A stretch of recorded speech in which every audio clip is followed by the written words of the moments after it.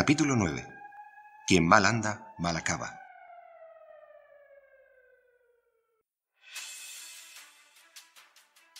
Bukowski llamó a Nikolai y le pidió que fuera inmediatamente. Él se presentó enseguida. El guardaespaldas le abrió la puerta y él subió derecho al despacho. Bukowski lo estaba esperando con la pistola en una mano y una chaqueta en la otra. Nada más entrar, se aproximó a él y le dijo, Escúchame atentamente. ¿Conoces a la hija de un tipo al que llaman el mercenario? Eh, sí. Bukowski tenía las manos cruzadas delante del cuerpo.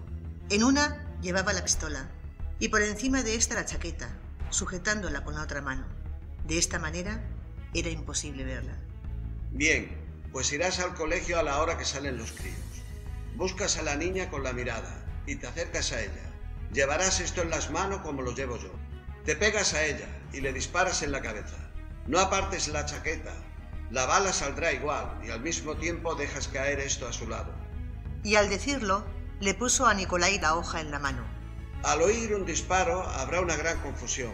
La gente gritará. Muchos saldrán corriendo. Tú aprovecha ese revuelo para mezclarte entre los que corran. Siempre tapando la pistola con la chaqueta. No tengas miedo.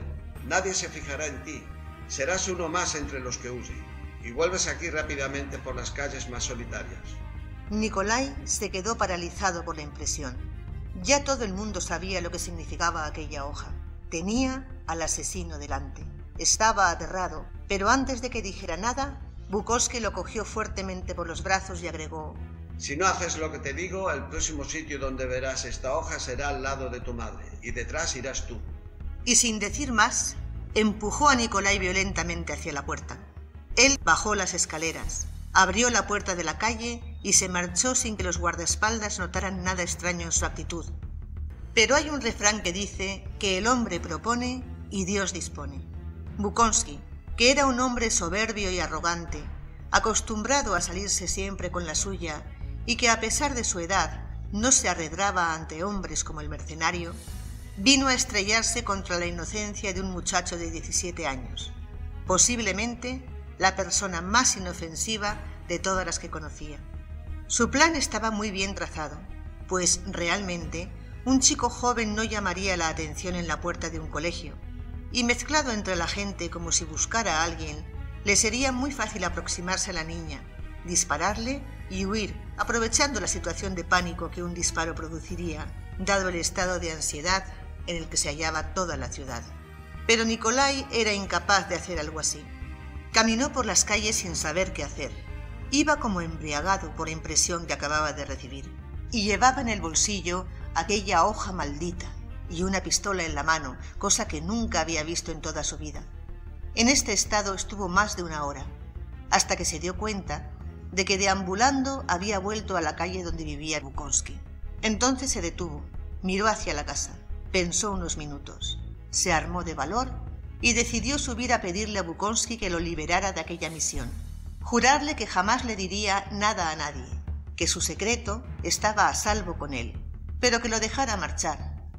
El mismo hombre de siempre le abrió la puerta después de mirar por la mirilla, y sin preguntarle nada lo dejó subir pues ya era cosa habitual que Nicolai hiciera un recado y regresara al rato para traer el dinero a su jefe. Nicolai llegó al despacho y entró sin llamar. Cuando Bukowski lo vio, miró el reloj. Vio que era justo la hora en que los niños salían del colegio. Montó en cólera al ver sus planes frustrados. Se dirigió hacia él enfurecido, le dio una bofetada y lo zarandeó fuertemente a la vez que le gritaba. ¡Suéltame! Nicolai, asustado, intentó liberarse de él. Le puso las manos en el pecho, ya que Bukowski era mucho más alto que él, y le empujó fuertemente. Al hacer fuerza con las manos para alejarse, apretó sin querer el gatillo y la pistola se disparó. Bukowski se desplomó inmediatamente y a Nikolai, impresionado al verlo muerto a sus pies, se le escaparon de las manos la pistola y la chaqueta. Los guardaespaldas, al oír el disparo, desenfundaron sus armas y se lanzaron escaleras arriba para ver qué era lo que ocurría. Nicolai, al oírlo subir por las escaleras, despertó de su letargo. Corrió hacia la ventana y se descolgó por un grueso canalón que llegaba casi hasta el suelo y que estaba justo al lado. Aleska estaba en ese momento en su habitación, que ya sabemos que era contigua al despacho de su tío. y en ese momento se ocupaba en recortar dos hojas más, ya que Nicolai se había llevado la que quedaba. Escuchó a su tío discutir con él y luego un disparo, así que también corrió alarmada hacia el despacho. Desde la puerta vio a su tío tendido en el suelo. Se aproximó a él rápidamente y al comprobar que estaba muerto, se arrodilló a su lado con un ataque de ansiedad. Allí yacía su tío y protector. En ese momento llegaron los guardaespaldas. Entonces ella reparó en que todavía llevaba la hoja en la mano y se la alargó a uno de ellos, a la vez que le decía Esto estaba aquí.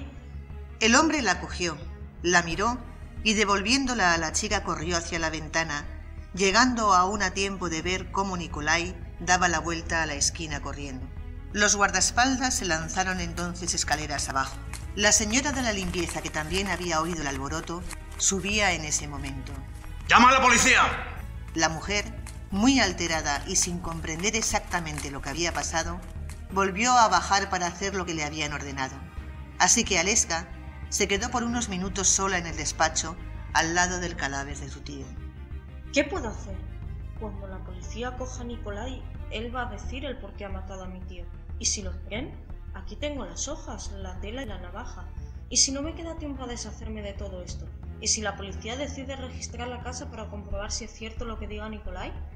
Mi tío estaba aquí cuando ocurrieron todos los crímenes, pero yo no. ¿Y si los sirvientes lo dicen? Podrían llegar a la conclusión de que he sido yo. ¿Qué puedo hacer? Tengo que intentar que no detengan a Nicolai. Si no hablan con él, esto pasará por un crimen más del asesino de la hoja, y nadie sabe quién es. Y pensando así, en un intento desesperado por retrasar lo más posible la detención de Nicolai, Aleska cogió la pistola, la limpió muy bien con un pañuelo y luego corrió a su habitación a esconder la otra hoja que permanecía sobre la cama. La llamada llegó a la comisaría, informando del asesinato de Bukowski. Desde que aquello había empezado, de cualquier incidente de este tipo era informado el inspector Bosco. Y aunque aquello en apariencia no tenía nada que ver con los otros casos, pues más bien parecía un ajuste de cuentas, el inspector inmediatamente se dirigió al domicilio de Bukowski. Los guardaespaldas habían corrido detrás de Nikolai, pero cuando llegaron a la esquina, este ya había desaparecido. No lo creyeron tan insensato como para volver a su casa, así que regresaron para explicar a la policía lo que había ocurrido. Pocos minutos después, llegaba el inspector con varios oficiales. ¿Dónde está el cadáver? Arriba, acompáñame. La señorita es su sobrina. Lo siento, muchacha. ¿Qué ha pasado? Le ha disparado un muchacho que se llama Nikolai Bomensky. Primeras afueras, enfrente de la Plaza del Norte. Y ha dejado esto al lado del cadáver. Y acercándose a Aleska, le cogió la hoja de la mano donde aún la tenía y se la entregó al inspector. Este la miró asombrado a la vez que preguntaba. ¿Conocen al asesino? Sí. Sí. Venía con mucha frecuencia a hablar con el señor Bukowski. Por eso lo dejamos entrar y subir al despacho solo. Y acto seguido, le explicaron al inspector con pelos y señales quién era Nicolai, dónde vivía y de qué lo conocían, omitiendo nada más que los pequeños recados a los que Bukowski lo enviaba de vez en cuando. El inspector envió a Emilia y a su compañero a la dirección indicada en busca de Nicolai.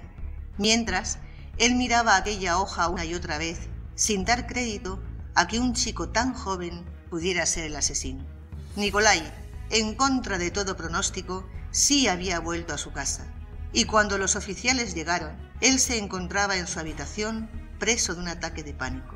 Los policías llamaron varias veces al timbre. Nicolai no contestó. Entonces ellos preguntaron a los vecinos si sabían dónde estaba. Si no está en casa, estarán trabajando. Pero, ¿qué pasa? Sí, ¿qué ha ocurrido? Tranquilos, señores. No ocurre nada. Simplemente necesitamos hablar con el chico. Los oficiales regresaron al coche e informaron al inspector de que el chico no estaba en su casa. Este respondió que se quedaran vigilando por si volvía y envió por la radio a todas las patrullas que había en la calle una orden de búsqueda y captura contra Nikolai Bobinsky. A última hora de la noche, después de haber recogido huellas e interrogado a todos los testigos, el juez daba la orden de levantar el cadáver y el inspector y su equipo regresaban a la comisaría.